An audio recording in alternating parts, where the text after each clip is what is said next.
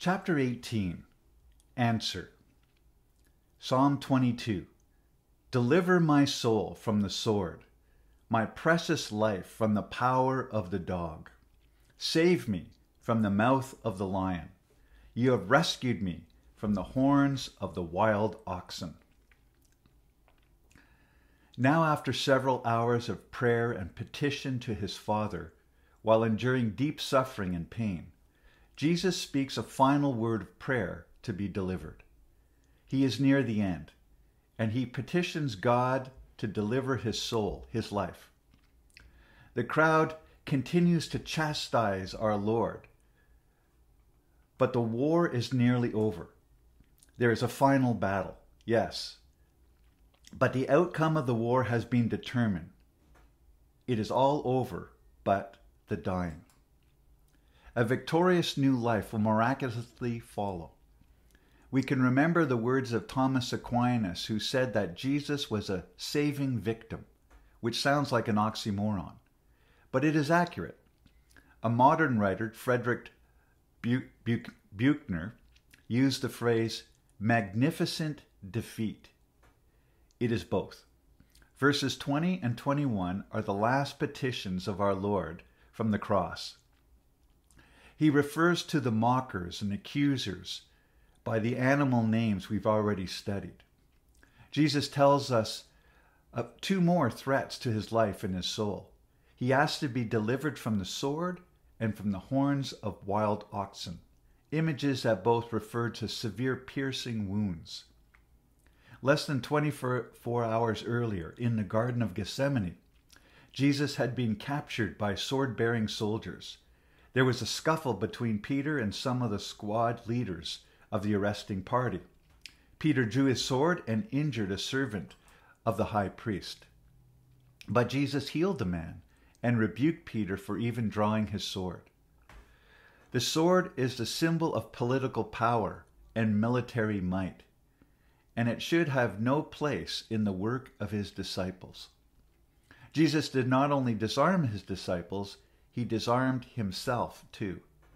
Jesus possessed vast power, and he demonstrated this throughout his ministry. But not now. He told the disciples in the Garden of Gethsemane that he could at any moment appeal to his Father to dispatch an entire legion of angels to do his bidding. But now, on the cross, he is defenseless. He has surrendered everything. Hebrew names of animals and beasts are notoriously difficult to translate. But whatever specific beasts are mentioned in these verses, it is clear they are a dangerous threat. There are also some grammatical issues in the Hebrew that inform how we understand this section of the psalm. In some versions, verse 21 reads this way Save me from the lion's mouth and from the horns of the wild oxen. You have answered me. Other translations have adjusted it to read, Save me from the mouth of the lion. You have rescued me from the hands of the wild oxen. Answered and rescued are the same word. Some translations of this verse remove all doubt that the time of prayer is over. They read, And he answered me. Jesus does not offer another petition or plea after verse 21. Regardless of how we translate the verse, there is a definite sense of turning in the psalm at this point. It appears that after hours of petitioning, Jesus knows that God has answered his prayer. Jesus has a strong belief that all will be well because God has answered him. He has been granted the answer to his prayer, and he's ready to praise God and declare his name widely. His circumstances have not changed. He is still dying. The nail spikes are still shot through his wrists, the steel still buried deep in the timber of the cross.